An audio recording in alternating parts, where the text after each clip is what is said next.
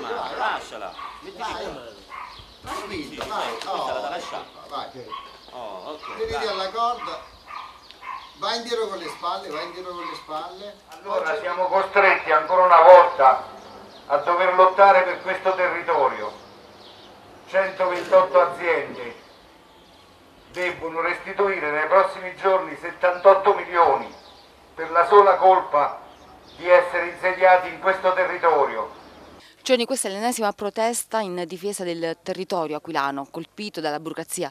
Sì, da eh, una sorta di euroburocrazia Un calvario, una lotta impari contro la burocrazia, o meglio quella che Celso Cioni, direttore regionale della Confcommercio Abruzzo, definisce burofollia, la follia dei funzionari che ai livelli più alti delle istituzioni della pubblica amministrazione restano sordi ai problemi delle persone in nome del rispetto dei bilanci e delle norme.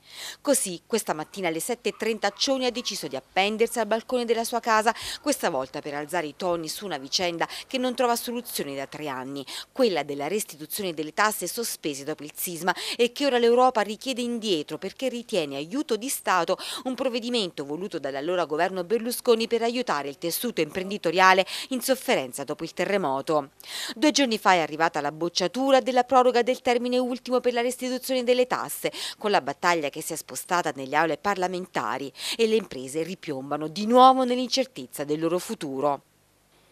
e migliaia di operai che stanno come me da anni sospesi nel vuoto per la sola colpa di, di essere nati e insediati in questo territorio che da dieci anni suo malgrado si confronta con questa realtà dura, anzi durissima e per premio i nostri euroburocrati ci hanno fatto questo bel regalo, 78 milioni e io voglio vedere come si trovano i soldi, mi- miliardi per provvedimenti governativi e non si trovano 78 milioni per dire a queste persone vi meritate un presente dignitoso e un futuro possibile. Ma bisogna dire basta a questa vergogna. Quindi amici della politica, vergognatevi e trovate una soluzione subito, altrimenti qua noi armiamo la rivoluzione come negli anni 70.